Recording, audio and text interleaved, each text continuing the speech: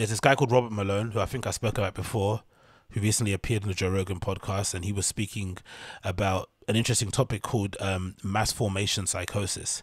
And um, he is basically explaining how this is basically one of the side effects he's kind of seeing with this mass hysteria going on with the pandemic at the moment. It's a little bit annoying, um, this whole thing anyway, I think in general, because it feels like if you're an anti vax or an anti lockdown person for whatever reason, you become like, um, uh, you become flipping enemy of the state for whatever reason. And I don't necessarily get it. I, I myself am vaccinated, I've got double jabbed. I'm not going to get a booster. I've decided against that, but I've been double vaccinated only because I thought that that would allow me to kind of live my normal everyday life and allow me to travel and do the things I need to do. Of course, that's not happened. We were kind of sold a dream and things change. It is what it is. But I think the people who at the beginning who were skeptical of the vaccine in general have their reservations. Again, I don't whether or not it's whether or not it's um beneficial or helpful to the overall com for the overall conversation and to how we're basically approaching the pandemic in the West, especially considering we're already an individualistic society as it is. We can't necessarily put the good of the of the good of the population above our own good, right? We don't necessarily think about our neighbor first. We think of ourselves first and our friends and our family. We don't care about our neighbors. So because of that, I feel like this idea that we can, you know, this idea that we can do anything other than a vac- mass vaccination drive to kind of stem the flow of, of the of the virus is a little bit naive and it's a little bit short sighted. I think we're just not the place for it. Maybe in places, like I said, you know, or for authoritarian countries where they can essentially weld you into your home, you can basically, you know, enforce mass vaccinations and basically still then, you know, it doesn't prevent, you know, people from getting the virus, doesn't prevent you from getting different strains. It is what it is. But that aside, this Dr. Robert Malone guy, he was a little bit kooky, a little bit out there. Didn't agree with most of the stuff that he said, but I still think it's important to have that voice out there. I think as much as it's important to have Dr. Fauci out there saying what he's saying for the people in the United States, I think it's also a handful, it's also helpful, sorry, to have people who have the opposite view, who are going to offer maybe an alternative view. Then it's up to the population to decide who they're going to listen to. But this idea that misinformation exists, I just I just don't understand what the misinformation thing comes from because it feels like on one side you're allowed to make it feels like on one side you're allowed to say things that might be deemed misinformation or things that might be proven to be wrong later on down the line. They never really apologize for them or retract what they say. They just continue saying what the new thing is. But then on the other side, if you say something that doesn't necessarily bode with the general consensus, suddenly you then get you know you get silence. And this guy Robert Malone got silence, got kicked off of all the platforms. I'm not, if I'm not mistaken. Um, essentially, which was what brought him to Joe Rogan. I'm assuming because he loves talking to people who don't have a voice in that regard, which is good because he gives people a platform.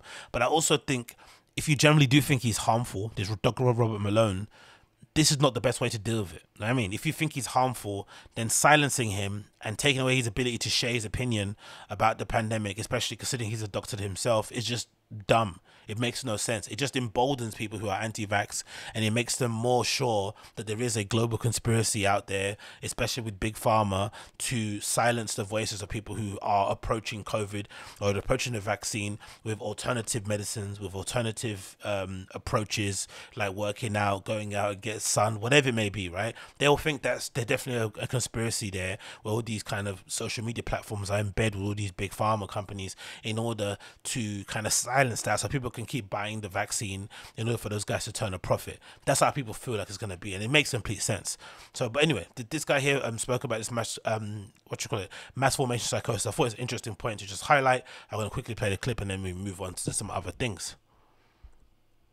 From basically European intellectual inquiry into what the heck happened in Germany. Whoops. Quickly play again.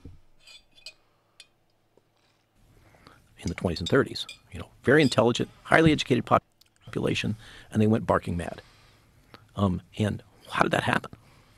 Um, the answer is mass formation psychosis. When you have a society that has become decoupled from each other and has free floating anxiety and a sense that things don't make sense, we can't understand it and then their attention gets focused by a leader or a series of events on one small point, just like hypnosis, they literally become hypnotized and can be led anywhere. And one of the aspects of that phenomena is the people that they identify as their leaders, the ones typically that come in and say, You have this pain and I can solve it for you. I and I alone. Okay? Can fix this problem for you. Okay, then they will lead. They will follow that person through. It doesn't matter whether they lie to him or whatever. The data are irrelevant, and furthermore, anybody who questions that narrative is to be immediately attacked. They are the other. this is central to mass formation psychosis. And this is what has happened. We had all those conditions. If you remember back before 2019, everybody was complaining, the world doesn't make sense, blah, blah, blah. Um, and we're all isolated from each other. We're all on our little tools.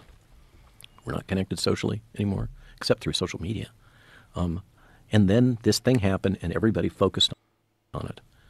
That is how mass formation psychosis happens, and that is what's ha- happened here.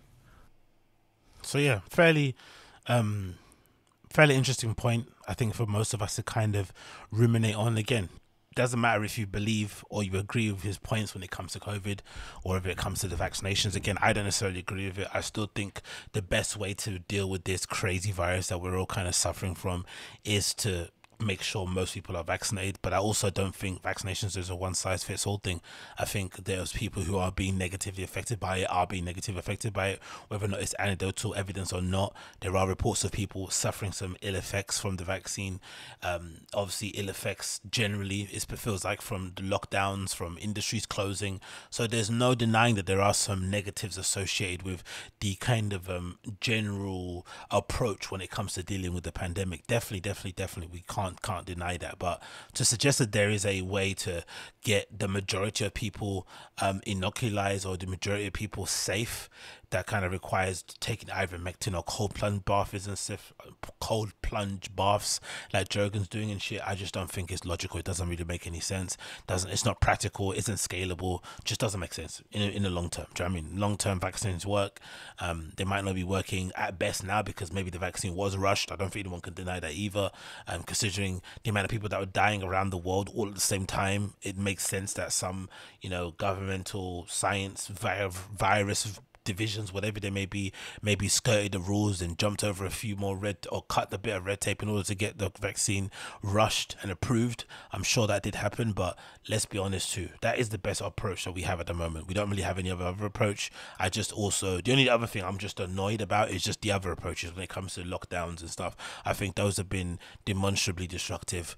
Um, the positive benefits of it, the positive benefits of it are really, really minute, especially in the grand scheme of things. You know, especially with people's mental health, we still haven't kind of understood exactly how that's impacted people. I had my small little scare at the beginning of the year where I was feeling really down in the dumps, and I can only imagine. And again, I feel I feel like I'm a fairly strong-willed person, so I can only imagine the people out there who aren't as strong as I am, who maybe don't necessarily have the ability to maybe deal with things like the way that I do, or just are just unlucky in life, in it. How they've been dealt with it and how they've been dealing with it. So to think that those solutions are the best thing to do and just to kind of kind of enact those restrictions willy nilly and let people suffer is just not fair really. I think we just need other approaches going forward and hopefully we are gonna go see them soon or hopefully we will see them soon in the future and that's the only hope we can have in that one.